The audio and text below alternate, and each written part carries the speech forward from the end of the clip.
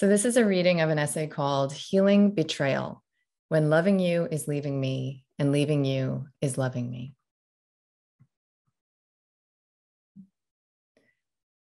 I've been running a program for a long time. It goes something like this I see what's happening.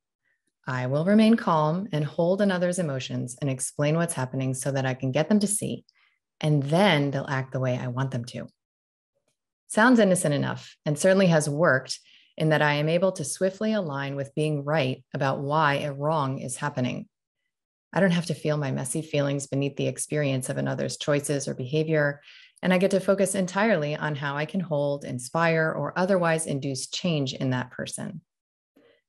When these strong beliefs or complexes take hold in childhood, they gatekeep the emotions of that child self so that the adult self doesn't have to caretake that inner child and can instead focus outwardly on other indirect ways of meeting that child's unmet needs. These emotions to that little child are huge. They literally represent existential danger because when we were little, rejection, betrayal, and abandonment meant death. They got flagged as that dangerous, and we've been in survival mode ever since. Life gives us opportunities to complete the integration of these emotions called upset, AKA when someone has done us wrong and we feel they are wrong about it. This upset is the place to enter. He did this to me, and I did this to me. Ronnie cheats on Rhonda. She catches him. She is shocked, dismayed, and devastated. She makes his behavior mean that he doesn't love her and that he is a bad man. But it's sticky because she also wants him to love her and he might sometimes be a good man.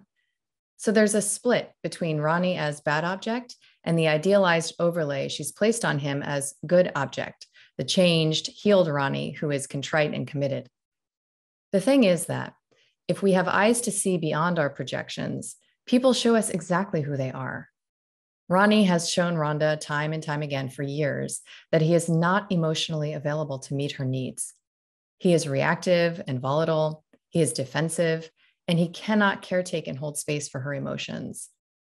Because of this felt insecurity between them, she is not able to offer him affirmation and a reflection of his heroic positive aspects. So he sources that elsewhere. They are and have been incompatible in their needs, and emotional insecurity has defined their dynamic. Rhonda knew and knows this. She let Ronnie know what she needed, and she also took the bait of imagining that she could rescue him into meeting her needs. She stayed far longer than someone who was ready to love herself would have. So, Rhonda is the one who betrayed herself, and the universe went ahead and materialized that reflection to her. She felt pain that guided her to her need, that guided her to her ask, i.e., I need you to stay open and connected to me even when you're upset, that allowed her to perceive, hear, and see that Ronnie is not actually available to meet that need. And she needed to revisit this familiar kind of quote unquote love from her childhood until she was ready to move into the abyss of pain that walking away from this dynamic represents. Pain that has been held at bay through her own neglect of her needs and convincing herself that they will soon be met. We have ourselves to blame, but why? We are our own abusers, and this abuse comes in the form of self dismissal, self negotiation, and the magical thinking that others will know what we need without our telling them. Resentment is the hallmark of this self betrayal that is perpetuated through micro rationalizations that keep the wound festering beneath flimsy band aids. And within that wound is a part of us that wants our attention. The part that says, This feels bad and has for decades. Can you please move towards what feels good? I remember an afternoon when I was super excited about a pleasure coaching appointment that I had been looking forward to for days. Even though there were only 40 minutes before the appointment, I agreed to a conversation with my partner that I knew could not be wrapped up in that time frame. No less than eight times in the ensuing 75 minutes was I tapped by my child self from the inside to say, Remember, you wanted this and now you're letting it go. Say something, exit this conversation. And after so many rationalizations, like, we're almost there, we can't start the appointment in this vibe anyway, so I have to keep going. I prioritized securing unfulfilling connection, because we do that through conflict too, over honoring myself. After the appointment was forfeited, I felt a flash of anger and blame, and pretty immediately recalled all of those inner taps that went unacknowledged. I was washed over with the disappointment of a little girl with rain on her outdoor birthday party. It felt oceanic and like it would drown me. And then it passed. And in that deep ocean, I recognized why, after betraying myself in this way, that energy could feel so much more safely channeled as blame, anger, and attack. That's a much easier emotion to hold than the tenderness of shame, grief, loneliness, disappointment, and even self compassion for all that is within. Is good enough love actually good enough? While this betrayal pattern applies to all relationships, romantic relationships suffer most from the fantasy that they are something beyond a conscious agreement and negotiation to meet respective needs, at least in the earlier stages of relating. Many in certain spiritual communities want to pretend that we can meet our own needs and that love is enough. But the truth is that knowing our needs and asking for them to be met is the most loving offering you can make to a relationship. And sometimes, even then, it may represent a violation of one person's needs to actually fulfill the others, in which case, terminal incompatibility may arise. In a relationship, typically both individuals mistrust themselves and the other person. They are projecting their idealized parent that flips to the villainized object, which is why love can turn to hate with a wrong look. As we learn through moments of triggering and pain what we actually need, the desire beneath the complaint, and we stand firmly in that need, trust of self grows. And when one person in the relationship trusts themselves, stands with themselves, and the other partner is not sufficiently connected at the heart level, the relationship falls out of resonance. Walking away from a relationship that has promised connection but not delivered it, the intermittent reinforcement of crumbs dropped here and there, is death portal work. Like any addiction, you will squirm and negotiate with yourself to stay, give it another chance, blame yourself, and otherwise postpone fully owning the truth you hold, which is that you must walk. This video speaks to the most painful surrogate for true intimacy, which is this intermittent reinforcement pattern, addictive, a pattern of need meeting which represents a kind of hell on earth for the anxiously attached individual and requires nothing short of a rehab to walk away from. The hardest thing you'll ever do is to walk away from a relationship that you know is loving, but somehow leaves you starving. To walk away from patterns of love that you now love yourself too much to endure, and walk into all of your stories about how you're going to die alone and never make love again. When we are ready to lose connection to a person, a group, an institution that we know cannot meet our deep needs, we own that we actually have needs and that they matter. We stop trying to meet them indirectly by being right, seeming good, cooperative, and in an endless loop of trying to change things. Standing with yourself for the first time should and will feel like you're going to die from the fear and pain. This is the sign that you are walking through your true individuation doorway because adults know, choose, and align themselves with their inner knowing. Wounded children people please, manipulate, and give just so they can secure an illusion of safety. Self betrayal is at the heart of suffering. When we self betray, we enter into the resonance of pain, suffering, and harm. We enter into victim consciousness, which is where our first experience of betrayal, rejection, or abandonment by a caregiver lives. We enter the victim triangle either through the vengeful villain, the valiant rescuer, or the hapless victim herself. And no matter what our geometrical location, we are living in a divided self. When we blame another or collude with another's blame of someone else, we are projecting the bad self out there and rejecting it in here. We play a starring role in our hurt, and our conflicts are often the symptomatic manifestation of codependency. The rescuer is the most cloaked victim of all because we run that program that we must caretake another and be patient so as to secure the response that will caretake us, i.e., I'll take care of you today, so you will take care of me tomorrow. This response can come in many forms, including connection, approval, or the validation that we are right and good. This pattern of self victimizing victimhood lives in many arenas of our human experience.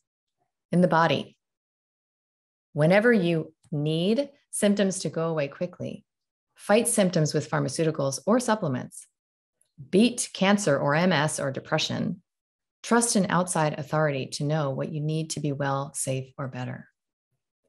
Through the mind, whenever you rehearse and review all of the ways that you are right, all of the reasons why your feelings are valid, and when you escape feelings through thought. And the heart. Whenever you imagine that simply showing or expressing a feeling is not reason enough. When you stay when you want to go, when you take the bait of peace and connection over authenticity.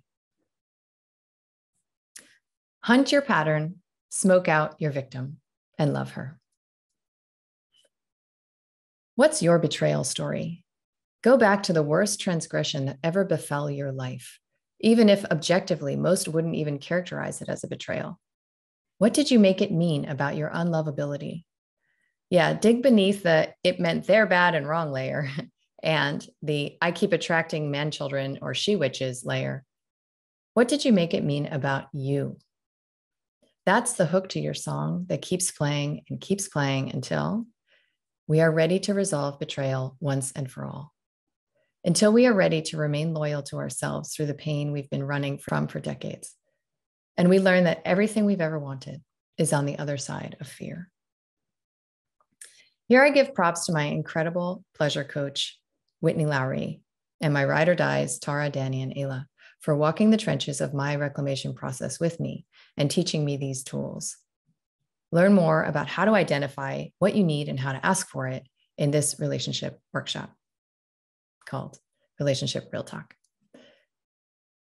First, park your story and feel. I'm the story queen. Most doctors are good at pattern recognition, but psychiatrists call it a profession.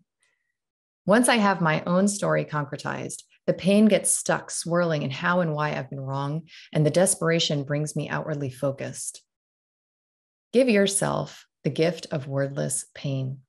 Throw a blanket over your head and cry in the fetal position, punch a bag or a pillow, scream. Tell your feelings that you will stay, that you will be with yourself as long as it takes to shift. And it will, I promise. Sometimes even after a few minutes, sometimes after a few days, and definitely after a few weeks. Next, your pain doesn't need a why. This is the hardest work I've done to make my intuition enough, my pain enough, to let my knowing stand like a pillar of white light that needs no one else's light to brighten it up. Sometimes simply, it doesn't work for me or it hurts. Without reasons, validation, or proof is the highest form of self loyalty.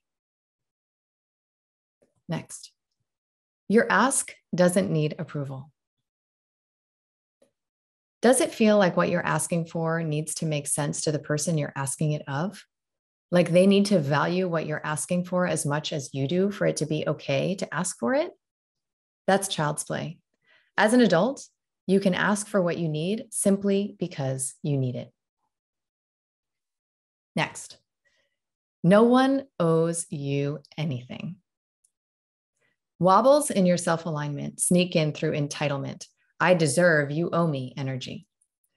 The truth is that everyone is on their own journey we are all adults making unconscious choices until they're conscious. And at either stage, no one owes you anything. And you don't want love based on obligation anyway, do you? Next, own your ultimatum, own your decision. Like most, I used to think that an ultimatum was a form of manipulation. The truth is that everyone has deal breakers, and communicating them clearly is a way to clarify whether it's even possible for your needs to be met. I require that you stay in the room until we both agree that the conflict has come to sufficient re- resolution, or I will need to leave the relationship. Sounds dramatic, but if this is what you need, why would you stay otherwise? You would if you believed that your needs are suppressible and don't matter. Next, how are your own beliefs being reflected back to you? If someone is telling you about yourself in a way that feels hurtful, could it be that they are reflecting your own beliefs back? If he says, it's not as bad as you're acting like it is, is he showing you that your feelings can't be trusted? Is it possible that you aren't so sure that your feelings can be trusted? Next, call your own bluff. If you're a rescuer donating sand to make the pearl in your partner, friend, or family member, what would it be like if your pearl took years to make? What if it was never made? When we stay because of someone's potential to change, we are living in an illusion while our very real needs are neglected. Next, forgive for real. Can you touch the place where you see that this hurt is showing you how you have ignored the flags, the internal knows, and that you are now ready to fly into the fear of isolation, disconnection, and aloneness because you are ready for healthy connections, maybe for the first time in your life? If so, thank your transgressor for what they brought to the surface of your heart so that you could learn to love it rise up to a higher dimensional perspective and thank them. Read The Little Soul and the Sun and settle into the possibility that these hurts are essential to the experience of self reclamation and love we came here for. Pain cycles repeat for a reason. The dense feelings and the feelings on top of the feelings anger, pain, rage, shame, disappointment, disgust have been swirling around unfelt unacknowledged, and otherwise suppressed because of the defenses we developed to blame, self pity, or focus on the outside fix. When we are finally ready to feel, honor, and respond to these feelings by allowing them to guide us toward our real time needs and the honest assessment of whether they can actually be met in a given dynamic, we parent the child who felt those feelings and was hurt in that same patterned way abandonment, rejection, volatility, etc that we are re meeting with. When we are done knowing love in the pattern of our dysfunctional childhoods, we are ready to experience what it is to gift love to others because we know how to anchor it within.